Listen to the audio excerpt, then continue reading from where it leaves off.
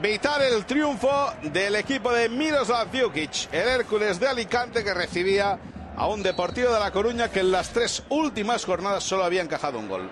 El partido pintaba eso, iba encaminado hacia un partido con pocos goles, porque el Deportivo de La Coruña era uno de los protagonistas. El Hércules, que tampoco tiene facilidad últimamente, bueno, digo últimamente, los últimos cinco meses de marcar muchos goles. Y al final se iba a decidir todo por un pequeño detalle. El detalle lo tuvo el Hércules con un gran regate, con una gran jugada de Kiko Femenía. Un balón atrás, lo verán, buscaba Treceguet, aunque encontró perfectamente la entrada de Thiago. El Hércules, con ese balón, insistía por la izquierda, como siempre en la referencia Treceguet, puesto que Nelson Valdez se quedó en el banquillo. Sí, decisión extraña, pero que le ha salido bien a Miroslav Djukic de dejar al paraguayo en el banquillo. Al final no disputó ni unos minutos. No sabemos si el estado físico del ex del Verde Bremen es el mejor. Kiko Femenía, que quería ganar galones en el protagonismo, se atrevió con la derecha ese balón cruzado al costado diestro de la portería de Aranzubía, que no encontró la meta. En la segunda parte arrancó también con un Hércules ambicioso, el Deport muy bien ordenado, muy bien situado, pero pocas opciones de gol. Sí, un Deport que jugó igual después de encajar el gol. Parece que el resultado de 1-0 le valía de cara al partido de vuelta. Treceguet combinando con eh, Kiko Femenía. Apertura de este a Cortés. Ahí está la jugada del gol.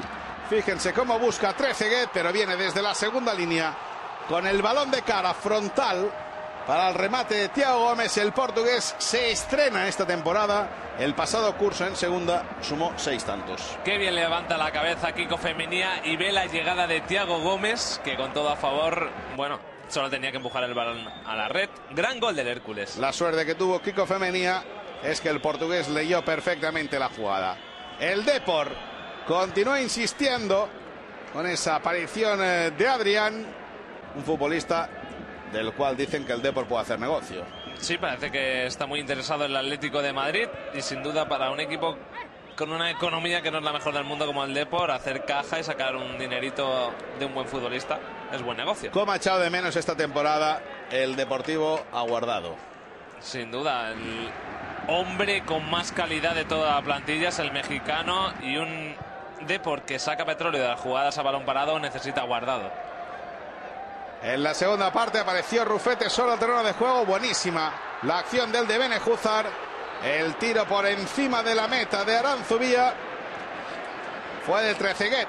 Mientras Kiko Femenía necesitó 80 minutos para poner un buen balón, Rufete en los cinco que le ofrecieron tuvo la sentencia en las botas de Treceguet. Con algo de fortuna llega ese balón, acaba haciéndose un autopase y eh, acaba encontrando bien la cabeza de un Trezeguet que había tirado perfectamente el del marque.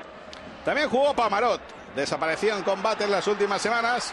Y Treceguet combinando a la contra con eh, Thiago Gómez, que se encontró anteriormente el buen servicio de Kiko Femenía, el tiro del portugués a la derecha de Aranzubía. Lo tenía que hacer el portugués, tenía que acabar la jugada y con esta jugada prácticamente acabó el partido. El Hércules que gana algo de aire. Al final del partido en el José Rico Pérez con Aranzubía buscando la victoria y con Calatayud determinante, abrazo entre el capitán Rufete, Hércules 1, de por.